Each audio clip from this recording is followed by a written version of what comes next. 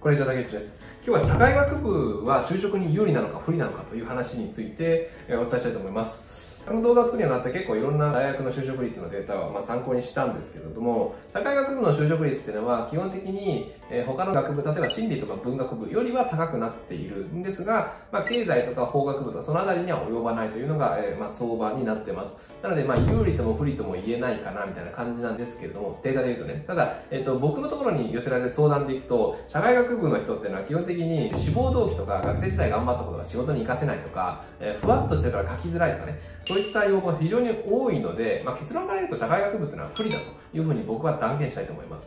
まあ、実際ね、まあ、いろんな大学が就職率出してますけど、結構就職率の数字そのものが結構、まあ、いじってあってですね、えー、まあ、こう隠蔽といいますか、改ざんされてるケースが多いので、まあ、そもそも就職率で語るのがどうなのかというふうに思うことも多いですけれども、えー、やっぱ実を見ていくと、やっぱ社会学部は微妙かなというふうに個人的には思ってます。ただ、まあ、とはいえですね、まあ、就職先の話でいくと結構、まあ、社会学部そもそもがね、結構学際的で幅広いので、えー、まあ、就職先も幅広くなっているということです。まあ、新聞業界、出版、マスコミメディア、まあ、いわゆるなんか社会について扱うような、まあ、そういったところにもありますし、まあ、一方で化粧品とか飲料のメーカー、それから金融、リサーチ会社、商社、IT、旅行、ソフトウェア、医療、福祉、鉄道、小売、まあ、などなどね、まあ、人気業界に就職する動きも見られます。まあ、これはですね、学部というよりは、どういったゼミに入ってるのかが結構重要かなと思ってって、ゼミで結構エッジの効いたあの研究内容ね、そういったことをやっているのであれば、その研究内容をそのまま生かしていくという形なので、まあ、社会学部がうんぬんというよりは、ゼミがいいゼミに入ったねっていう話なので、社会学部に行く場合は、学部自体がね、その有利性を担保してくれるわけじゃないので、ぜひいいゼミを選んでいただきたいというふうに個人的には思います。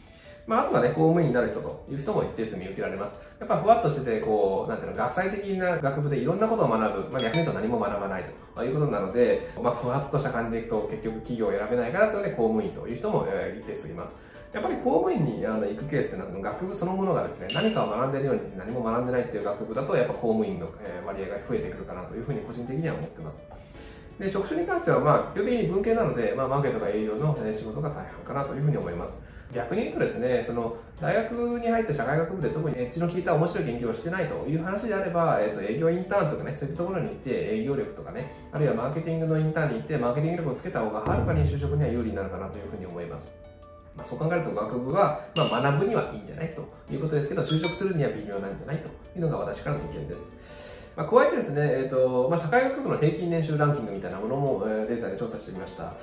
結論から言うとですね、まあ、社会学部の平均年収ランキングは10位で、えー、394万円です。ということで、やっぱり専門性の高い他の学部、例えば理工学部とかね、経済学部とか小学部、まあそういったものに比べると、やっぱりこう、幅広いものを学んでいて、逆に言うと何も学んでないということなので、平均年収はやっぱ低めであるということが言えます。なので、まあそのあたりは注意して学部選びをしてみてください。というわけで、まあ、そのあたりね、専門的なことを学んでない人は、その分、就活対策きちんとやらないといけないので、早めからですね、え就職のことをきちんと勉強してやっていくことをお勧めしたいと思います。まあ、例年、あの社会学部の方はよくトースクルにもいらっしゃるので、まあ、ぜひね、え早めの段階からどういうふうにすればいいかという戦略を立てていただくといいかなというふうに思います。このチャンネルでは処理何本か就職活動に役立つ動画を配信しております。ぜひチャンネル登録をよろしくお願いいたします。では今日は以上です。ありがとうございました。